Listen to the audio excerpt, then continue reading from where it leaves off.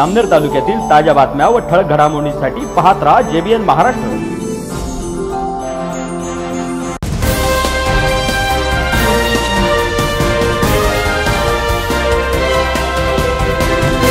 नमस्कार मी विनल चौधरी. पाहूया काही ठळक वृत्त. जामनेर तालुक्यातील चोऱ्यांचे सत्र कमी न होता दिवसेंदिवस वाढतच चालले आहे. चोरांवर पोलिसांचा जरब न राहिल्यामुळे चोरट्यांची हिंमत अधिकच वाढत आहे. फत्तेपूर परिसरात सुद्धा चोरांच्या सुळसुळाट झाला असून शेतातील कापूस चोरताना एका चोरट्याला काल रात्री शेतकऱ्यांनीच रंगेहात पकडण्याचा प्रयत्न केला.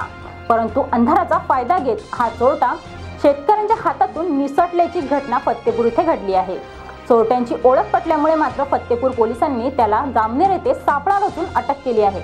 फत्तेपूर परिसरातील नागरिक या भोट्या चोरांमुळे त्रस्त झाले असून पोलिसांनी रात्रीची गस्त वाढवण्याची मागणी येथील शेतकरी बांधवांनी केली आहे.